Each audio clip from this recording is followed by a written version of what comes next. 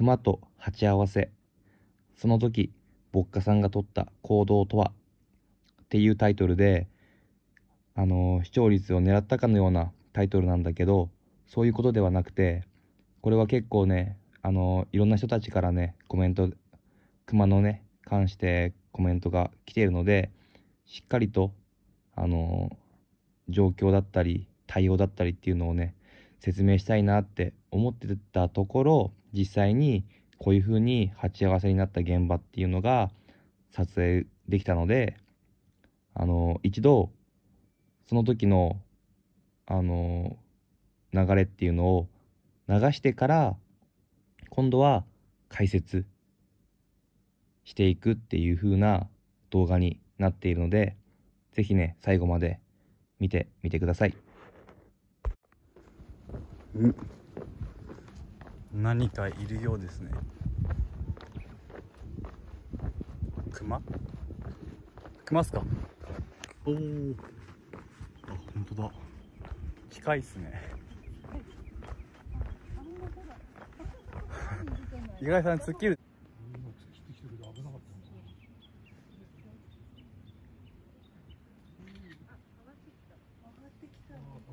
こっちに来ると怖いんだよな。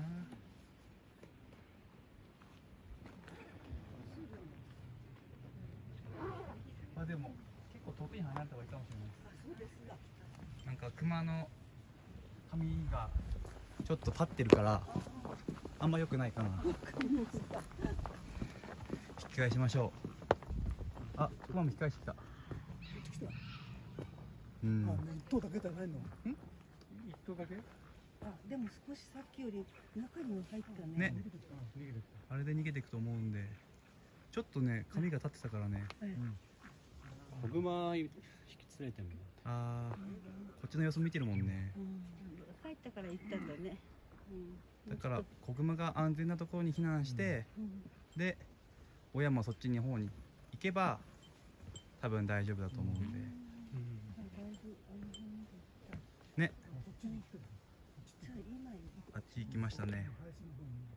今行っても大丈夫そうですか？そうですね。そろそろ行ってもいいと思います。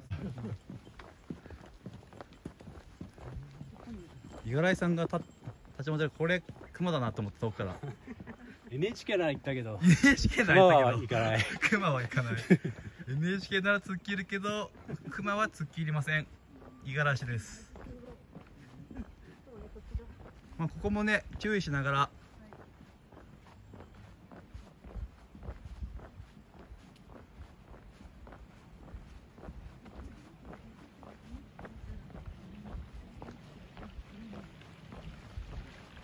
超ちっちゃいじゃん熊見て超ちっちゃい。かわいいね。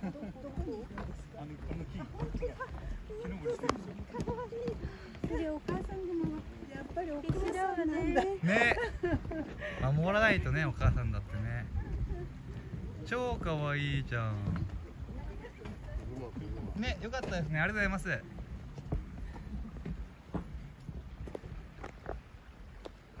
のね大きな木の下にね子こ熊っち側いますね。いましたよね。超ちっちゃいですね。あんなちっちゃい子熊俺初めて見た。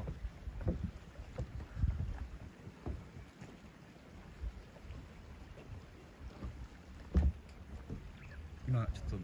見えないけど木の根元あたりに。ね。でもなんかなんかちょっとうまく登れなさそう。修行が足りないな頑張れ。で俺が竜宮からずっとね山の花方面に歩いて五十嵐さんの五十嵐さんを追っかけていたらまあここでね五十嵐さんに追いついたんだけどまあなんかねお客さんの様子も五十嵐さんの様子も何かおかしいなって感じて手前で動画を回しました。でこういう状況は多分クマかなって思っててまあ動画を回しながらゆっくり近づいていくとやっぱりクマだっていうことでね。でどこにいるのかっていうのを確認してでクマがねあの木道上にこう上がろうとここでしました。でここで上がります。でこの瞬間に自分は熊の表情だったり毛並みっていうのを見たんだけどそしたらねちょっとね毛が立ってたんだよね。それであこの状況あんまり良くないって思ってもうこの時点でもうあの後ろに下がるような準備を心の中ではしていました。で五十嵐さんはちょっと前にいたんだけどこのねこの熊の大きな熊の後ろにちょっとちっちゃい黒い影が見えるんだけどそれが子熊だったんだけど五十嵐さんはねこの子熊が確認できたそうなんです。俺はちょっとわからなかったんだけどまあでも熊の毛が立ってるからこれちょっと良くないなって思って後ろに戻る準備をしておいて五十嵐さんはここで子熊を見たからあの荷物をここでそーっと先にのね生だるの殻を背負ってたんだけどここでそーっと沖に入ってでそうみんなお客さんたちをねここで後ろに下がるように声を出さずにね後ろに下がるように指示をしてまあそうだろうなって思って俺たちも下がるんだけどこのねあのね隣五十嵐さんの隣にいるお客さんと五十嵐さんの行動をね本当に比較してほしいんだけどすごくいいあの動画になったなっていうふうに思っていてこの子熊が見えた瞬間この多分お客さん赤いザックを背負ったお客さんはあのー、熊のこと知らないんだとは思うんだけどあのー、子熊がね見えて毛が立ってる瞬間に五十嵐さんはここでこうやって戻る。でみんなをこう誘導するようにね下がれっていう感じで。でこの本当にコンマコンマなんだけどねこの差は。でもこの差ですごくこう動物クマに対してのこうややるかやられるかっていう分かれ道になるところですこのお客さんは本当に一手遅くなってるからその一手がすごく大事でうん結果的にね何もなかったから本当良かったんだけど相手はね、あんなに大きな熊です。で、熊はね、やっぱり人間を食べるために、あの、自分たちを攻撃するのではなくて、防御性、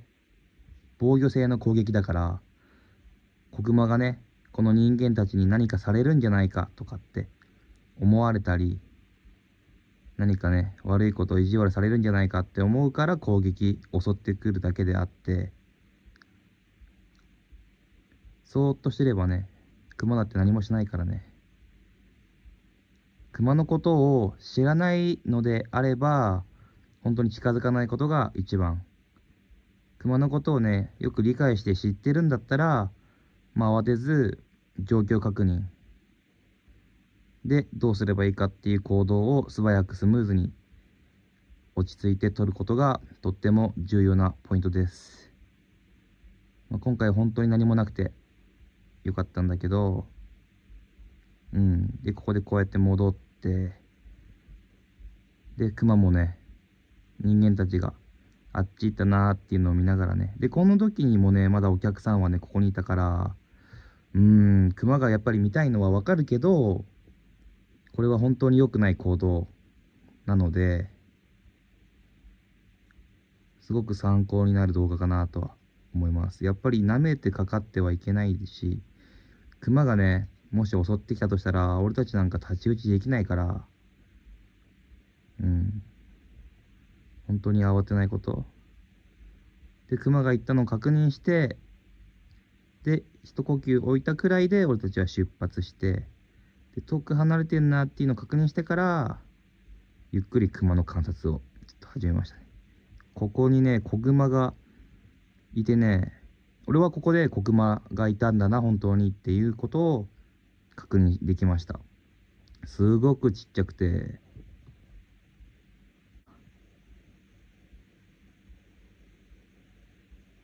そう、すごく小さくてね、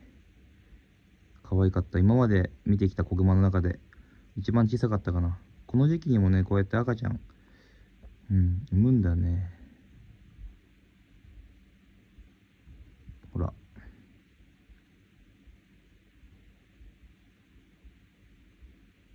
で、この動画をやっぱり上げるのか上げないのか結構悩んだんだけど、でも、あのーコメントの方で、結構ね、熊いまいませんかとか、熊に会ったことはないんですかとかっていうコメントがあったので、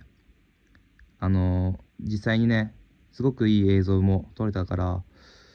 これを元にちゃんと説明したいなって思って、だからただ単にね、これは熊と出会ったから面白い動画になったとかっていう話ではなくて、やっぱりこの尾瀬、こんな自然が豊かなね、山の中っていうのは、熊や鹿や天や、まあ、いろんな動物たちが生活している場所です。そこに俺たち人間が自然を感じたりとか、見に、遊びに、あの、行ってるだけなので、その生活している生き物がいるっていうことをまず知るっていうこと。だからもちろんね、自然をこう感じたいんであれば山にこうやって入るけど、そういう生き物たちも絶対にいるから、いるから怖いとかではなくて、いるのはもう当たり前だから、ここに自分がいるよってことをちゃんと遠くからみんなにね、こう知らせること。いきなり出くわしちゃうとお互いびっくりして、その時にね、襲われるっていうケースもあるから、まあ熊はね、結構鼻が強いから、もう全然人間がいるなんてね、気づいてるとは思うけど、でも、あの、敬意を払って、ここに私はいますよっていう印として、熊鈴をするのもいいだ、いいし、手を叩くのもいいし、喋りながら歩くでもいいし、うん、熊に、熊とか鹿とかにね、いろんな動物たち生き物に、ここに自分はいますよって知らせることが、生き物たちへの配慮かなって俺は思っています。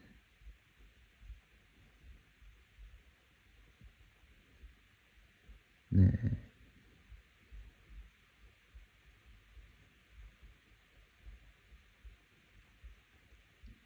で自分たちも熊にこうやってね会う機会って年に結構あるんだけどお客さんたちは熊と出会うっていう確率は本当に少ないと思います。ちょっと戻ってみるよ。うんこうやって熊に会うのは少ない。だこれは本当稀なケース。俺も木道に熊がいたっていう瞬間は7年間やっていて、5回、5回くらいかな。まあ、毎年絶対熊には、熊は見るけど、こうやって木道で鉢合わせっていうのは、年に、年に1回あるかくらいかな。去年もこうやってね、出くわしたことが1回あったんだけど、その時一人だったから、やっぱり一人で熊に会うのは怖かったけど、でもやっぱりもう何もできないから、もう落ち着いて、そこに立って、周りの木と同じように、もう木になること。もう俺にはね、それしかすることができなかったから。俺はその時木になりました。そしたら熊も普通に木道をすれ違った。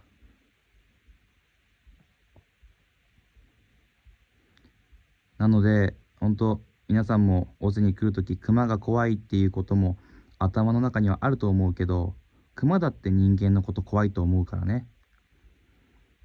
うん。だから、あの、慌てないこと。で、熊に会ったからってテンション上がって、カメラをこう向けてカシャカシャしないこと。まあ今回俺はカシャカシャというよりも動画でゆっくり回してたから、うん、そこら辺の差もあるけど、やっぱり熊に刺激を与えないことっていうのは、とっても大事なことなので、尾瀬で生活している生き物たちへの配慮っていうのもね、一応、尾瀬に入るときには、また気を引き締めて遊びにいらしてください。